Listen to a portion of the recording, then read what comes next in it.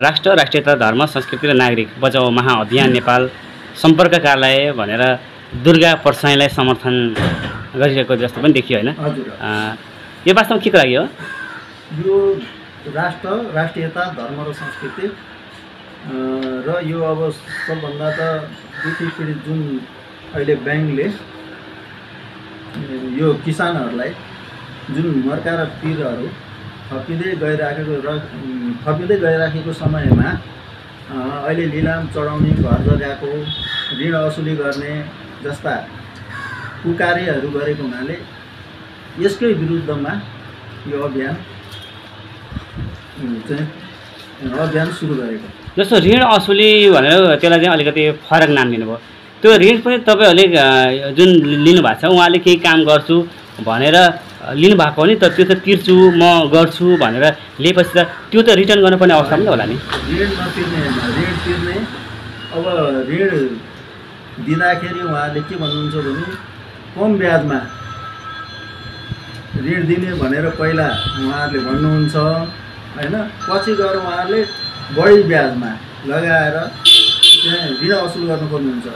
अर्को कुरा के छ भने जब ऋण लिने दिने बेलामा चाहिँ तपाईँहरूले ऋण लिनुहोस् भनेर आउनुहुन्छ।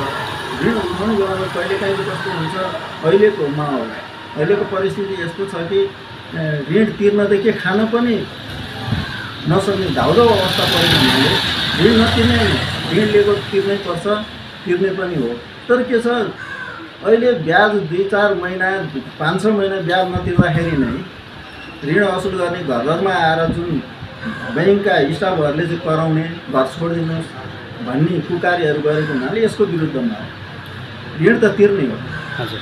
जस्तो अब तपाईँहरूले चाहिँ ऋण लिनुभएको छ विभिन्न लगानीकर्ताहरूले नै उहाँहरूले पनि कतैबाट हामीले पनि ऋण लिएको हो।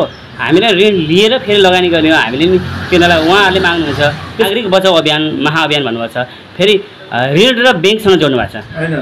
नागरिक अभियान महाअभियान भनेकै नागरिकहरूले नै ऋण लिने हो। पशुपन्छीहरूले त ऋण लिँदैन। पशुपन्छीहरूलाई त ऋणको आवश्यकता पनि पर्दैन। नागरिकहरूले नि लिने हो। नागरिककै लागि चाहिँ यो ब्याङ्कहरू खुलेका हुन् खोलेका पनि हो। तर के छ भने यसमा चाहिँ जब ब्याङ्कले धरपकड गर्न थाल्यो होइन ऋण तिर्छु भन्दा भन्दै पनि अहिले यस्तो माहौल छ कि न घर जग्गा बिक्री हुन्छ न अहिले आय स्रोतको चाहिँ कहीँबाट चाहिँ यो इन्कमहरू आय स्रोतहरू देखिएको हुन्छ केही पनि छैन नि त। त्यस कारणले गर्दाखेरि अहिले अब भन्ने बित्तिकै ऋण तिर्नु सक्दैन होइन? समय दिनु पऱ्यो होइन? निलाम चढाएर अब चाहिँ घर जग्गा नै बुढीवास गराउनु त भएन नि। ब्याङ्क र ऋणसँगको अर्थको कुरा आइरहला राष्ट्र राष्ट्रियता धर्म र संस्कृति पनि भनेको छ फेरि राष्ट्र र राष्ट्रियता अहिलेका चाहिँ यो नेताहरूले अहिलेका जुन भनौँ न पार्टीका विभिन्न पार्टीहरू च्याउन्दै जस्तो उम्रेको छ नि योले के गर्यो? देश बेच्न थाल्यो धर्म बेच्यो राष्ट्रियता बेच्यो। हेर्नुहोस् त अहिले जताततै अब अहिले तपाईँहरूलाई थाहा छ तपाईँहरू पत्रकार हुनुहुन्छ पत्रकार महोदयहरूलाई के थाहा छ? हामीलाई भन्दा बढी थाहा छ। होइन अब धर्म छैन संस्कृति छैन धर्म भनेको आफ्नो किसिमले मान्न पाउनुपर्छ मानि पनि राखेको छ। धर्मको नियममा यहाँ अब बर्मयुद्ध हुने चाहिँ एक आपसमा दाजुभाइमा काटामार गराउने। त्यस्तो स्थिति जुन माहौल भयो नेपालमा यो कसले गर्यो भने नेताहरूले गर्यो। यस यसैको विरुद्धमा जस्तो राष्ट्रिय यो महाअभियानको मुख्य एजेन्डा के हो? धर्म संस्कृति पक्ष पक्षमा केन्द्रित रहने मात्रै हो अथवा ब्याङ्कलाई चाहिँ ऋण अथवा ब्याज छुट गराउने अभियान हो अथवा के हो त मुख्य एजेन्डा चाहिँ? होइन हाम्रो यो जति अहिले हाम्रो ब्यानरमा लेखेको छ त्यो ब्यानरको मुताबिक हाम्रो जुन केन्द्रीय कुराहरू आउँछ केन्द्रबाट जुन कुराहरू यहाँ पठाइएको हुन्छ। त्यही कुरामा आधारित भएर हामी जस्तो अब नियम विपरीत चाहिँ हामी जाँदैनौँ। कतिपय संविधानभित्रै बसेर चाहिँ काम गर्छौँ। कतिपय चाहिँ नमिल्ला जस्तो ठ्याक्कै अब यो माग हाम्रो अभियानको चाहिँ यो माग हो। हामी यो माग्नलाई अगाडि बढायो हो भन्ने हुन्छ नि त एउटा। यो त ठ्याक्कै। माग भनेकै राष्ट्र र राष्ट्रियता होइन धर्म र संस्कृति र अनिखेरि यो हाम्रो जुन भनौँ न भुइँ मान्छे भन्छ। हामी जस्तै।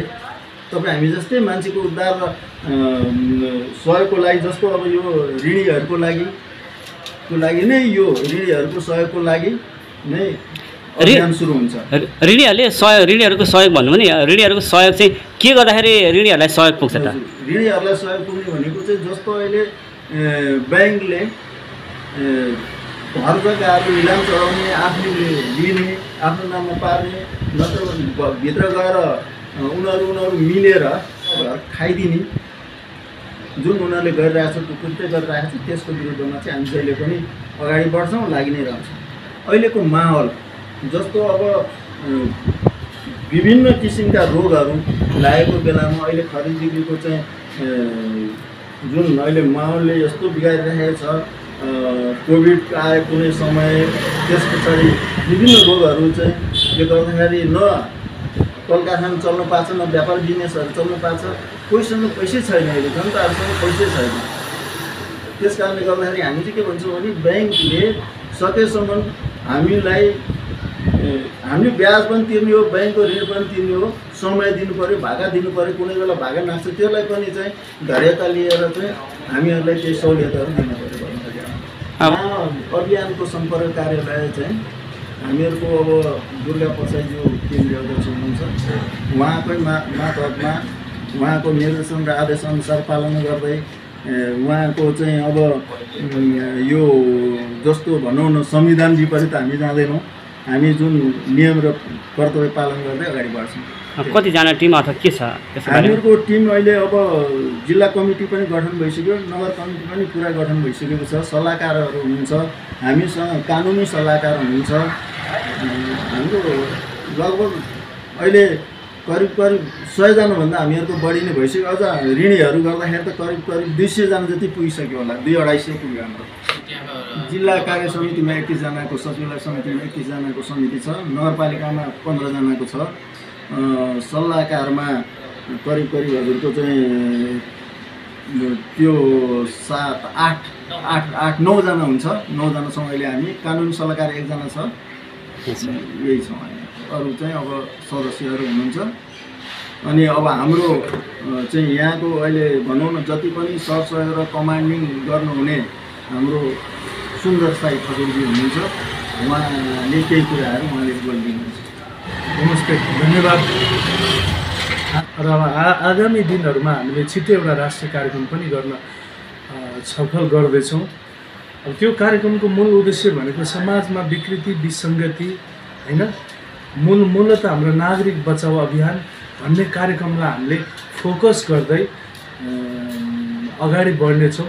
यसमा हामीलाई सम्पूर्ण मकवानपुरवासी लगायत मिडियाकर्मी व्यापारी किसान अन्य युवा साथीभाइहरूले साथ र सहयोग गर्न हुनेछ भन्ने हामी आशा गरेको छौँ। धन्यवाद हामीलाई अवसर दिनुहोला। किनभने अब हामीलाई यो एउटा मौका पनि हो र हाम्रो एउटा चुनौती पनि छ।